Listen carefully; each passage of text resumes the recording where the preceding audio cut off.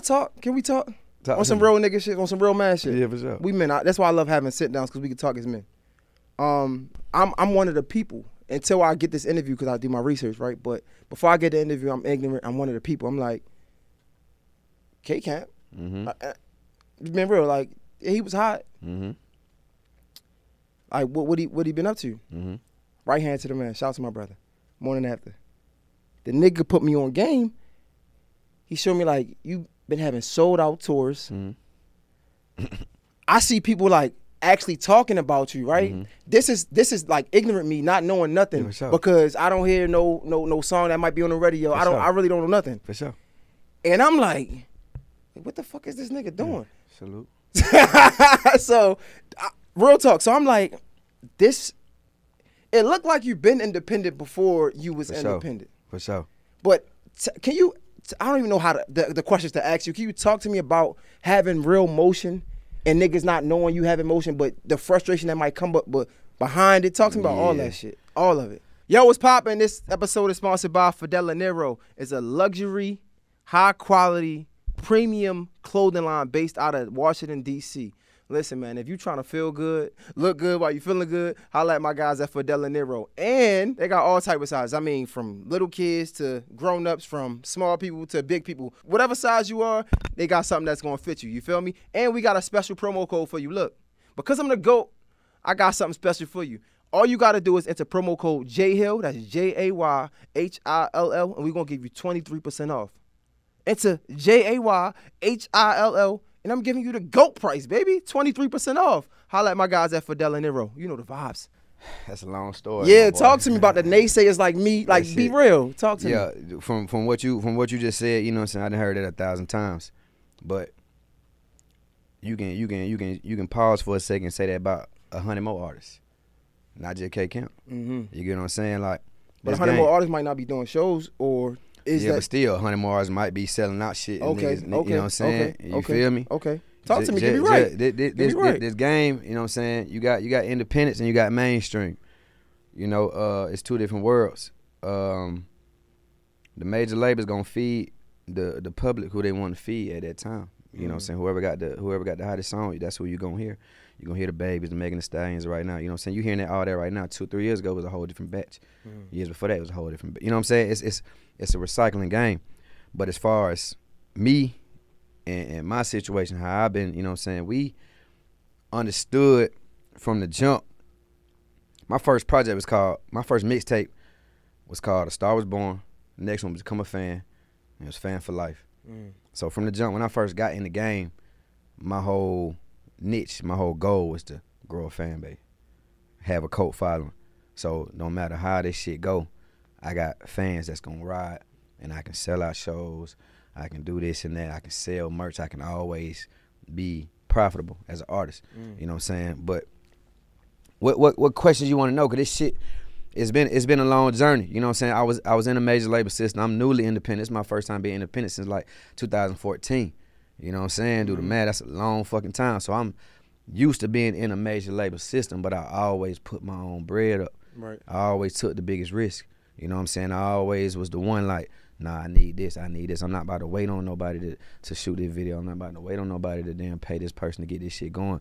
So I always had that mindset just looking up niggas like P, uh, you know what I'm saying, Nip, uh, Ross, you know what I'm saying, all the big dogs in the game who who be popping this shit like, this what you gotta do. You know what I'm saying? How often were you going on tour? Um, at one point I was doing like three tours a year. Okay. And and that point, and again, I'm just trying to like, I'm trying to talk from the How happy The- you wanna know how that how that happened? yeah. I'll break it down to you real quick. So before before I, I, I decided to be a touring artist, I was doing I was doing club. I remember you saying that. dates. Yeah. You called doing- your mom. You said, See, so so you on you on game. So yeah. you know what I'm saying. I forgot who the fuck told me, but it was a, it was an OG that told me like, Camp, if you want to if you want to have longevity in this game, you can't keep doing the clubs. Mm. I was cool with the club, nigga. I got rich in the clubs. You know what I'm saying? Getting a couple I'm dollars. doing four, five, four, five, six shows a week. It, it- And you it- in the club. It's getting to the hard. point. I'm telling, I'm telling the booking like I don't even want to go do a show. Like I'm getting so much money, I don't even want to go do a show. You feel Mhm. me? I, you know, blessings. If you an artist, don't ever take that shit for granted, boy. That shit don't last forever unless you just. Whew. But you know, it would it would get to a point, you know what I'm saying, I was at a cap every time. Like my cap was uh forty. I was Okay. just doing forties because In the club? in the club. You must some big ass clubs or something. I was doing forties, and, and, and, and it was in a contract with my label. If I went over a certain amount, they started getting a piece. So I stayed at like a, I stayed at a certain balance. Like, Okay. I'm getting this out of me. You know what I'm saying? Okay. It's me and the team. You feel me? But it got to a point where I was like, all right, you know what I'm saying? If if I don't got a if I don't got a hit record on the radio right now Mhm. or on the airwaves, I ain't gonna get booked. Right. You get what I'm saying? You Talk not- to me about this though. This is what I want to know. What's up? How are you able to have? So we know that you, you like, bro. This ain't get me no money. I want to go on tour. How are you able to go on these tours? How you how are you how are you even putting together these tours if you don't have a hit song on the radio? I got hits. For sure. but we think about people that's touring. We think, You don't gotta have a hit record on the radio to tour. mm. You gotta have a hit record. so you putting this together yourself or the label is doing this? No, this is this is our team. This is my independent team putting tours together. Okay. The label, the label ain't put one tour together. They never put me on no tours.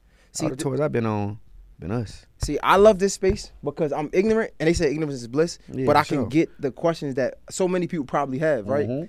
And I embrace that. It's okay. So, but I'm asking because sure. usually, for the the average person, right? Yeah, If somebody, for lack of better words, not trying to offend you, if somebody's not hot, right? Mhm. They're not thinking about them going on tour. yeah, for sure. So, I'm trying to figure out what goes behind it.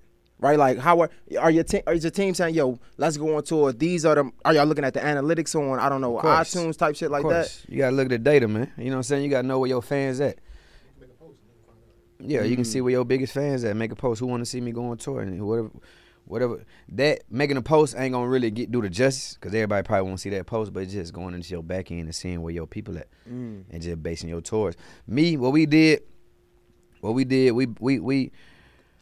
You got A markets, you got B markets, you got C markets. You know what I'm saying? The A markets like Atlanta, L.A., New York, Miami, Houston. That you know what I'm saying? Like them the, the the cities everybody know about. You got your B markets, which is like the Huntsville's, the North Carolina. You know what I'm saying? You like you got different type of. We the strategy we had was like fuck up the C's and the B's first. Mm. You know what I'm saying? Go out, go to go to all them cities that nobody really fucking with, that people don't come out to. You know what I'm saying? That that want shows, who fans, but Can't get it. they can't get it. So we go to y'all city. You know what I'm saying? That's why when I used to uh, like post my tour dates and motherfuckers be like, what the fuck is that? Okay. I didn't even know what the fuck it was. You know what I'm saying? But I knew I had fans out there. And I know once I go out there, be, whew. And, all, and and all you gotta do is take that. Oh yeah, this shit loaded. Even though it is in real life, it's loaded. Go to the B market. They like, oh, I gotta get a piece of that. You take it to the A market. You know what I'm saying? And you look up, Sold out dates. sold out dates. So Yeah, that shit ain't easy though. That shit take forever. Don't think you can just go out and think you about to just uh uh uh. at that what shit time took did years, you see? bro. Huh? At, at what time did you see the turnover out there? My last float tour. Okay. Float tour. Okay. I want to ask you this. I, I've been studying you, right? So I know I know you're you're a confident dude, right? Like you Mhm. you know, even if niggas don't know, you Mhm. know the importance you you hold For sure. to this industry, right? For sure. Knowing that, talk to me about the times when you did have the people like me who don't know no better and like K Camp fell off. Yeah, for sure. You heard that. I heard, How was that I making heard, you I feel? heard all that shit. You know what I'm saying? As an artist, don't know artists. Would you like to hear that as an artist? you feel me? Don't know artists want to hear they they fell off, but niggas gotta understand what's what's what's the definition of falling off. Nigga use that term so loosely. What is falling off? Falling off to me is fucked up somewhere, got down under a bridge Mm. with no paper, with a box saying, "Can, can I get some food?" That's falling off. When nigga when niggas speaking the aspect of, of falling off musically, like they don't hear you on the radio, they don't see you visually, that's not falling off. You know what I'm saying? Every player got off season.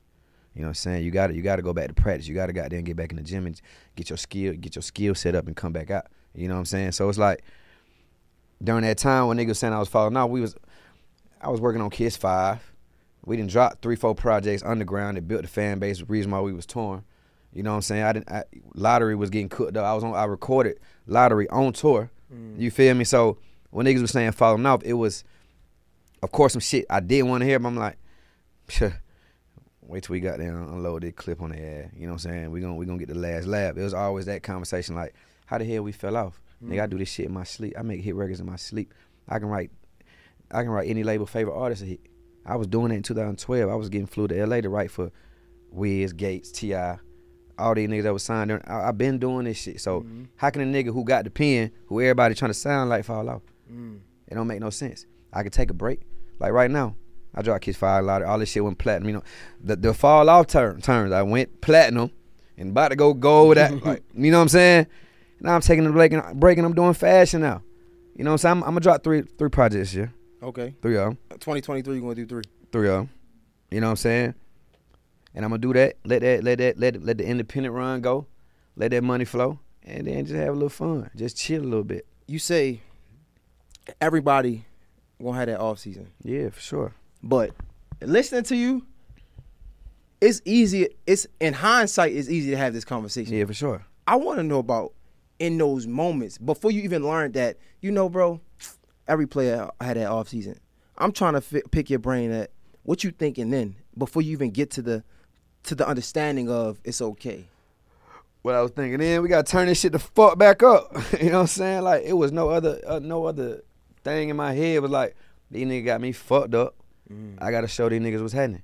Cause I ain't, I ain't the type of nigga that's gonna fold and just back down and go in the corner.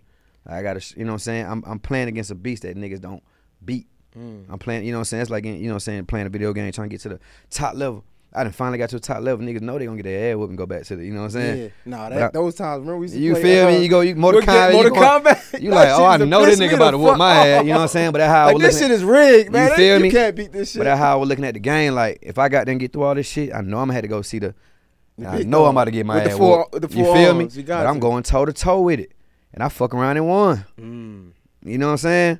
So that's how I looked at it. Like I'm, I'm, I'm, I'm facing, I'm facing the devil itself. Like, what's happening? I, I didn't, I didn't, I didn't, I didn't show y'all niggas I ain't no hoe. I didn't show y'all niggas like y'all can't fuck with me. And those moments when you thinking like that because it's it's it's definitely positive but did you catch yourself or looking back did you catch yourself treating people i don't know a little unfairly or being a little bit too mean or over, or edgy because like you had this chip on your shoulder and Yeah, you wasn't sure. able to recognize During it that time, I was.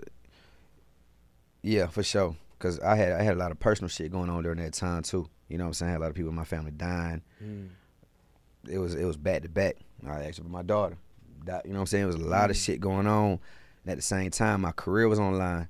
So I had to really like I wasn't just dealing with a career. I was dealing with life Mm. all around. So you know what I'm saying? But every day, I'm making sure the vibe set around my, you know what I'm saying, my game, around the bitches. I'm I'm making sure everything. Nobody feeling like, cause I'm the head nigga. I, if I'm walking around this bitch sad, looking like, you know what I'm saying, Mhm. the, the morale around this bitch is gonna be fucked up.